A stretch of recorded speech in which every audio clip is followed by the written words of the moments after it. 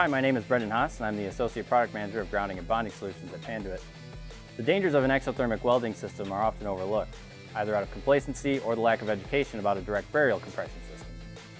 At Panduit, we've specifically engineered our structured ground line to increase installation efficiency, connection reliability, and job site safety. Exothermic systems are both physically and logistically cumbersome. Because molds are specific to only one connection type, project complexity increases the number of components required, the versatility and wide range-taking capabilities of Panduit's compression system allows for easy bill of material or inventory maintenance.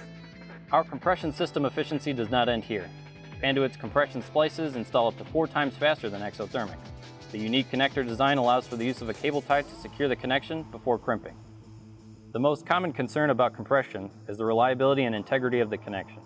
To combat any false claims, Panduit has tested its direct burial compression system to rigorous performance and harsh environment test procedures per the 2014 revision of the IEEE Standard 837. To also ensure your peace of mind, Panduit's tools are OSHA certified and connectors are UL listed. The compression system does not require hot work permits, do not pose any risks of fire in dry climates, nor are inoperable in the cold or rain. On top of this, the connection is easily verifiable through inspection. If you have any questions related to Panduit's structured ground system, please contact Panduit customer service or your local sales representative.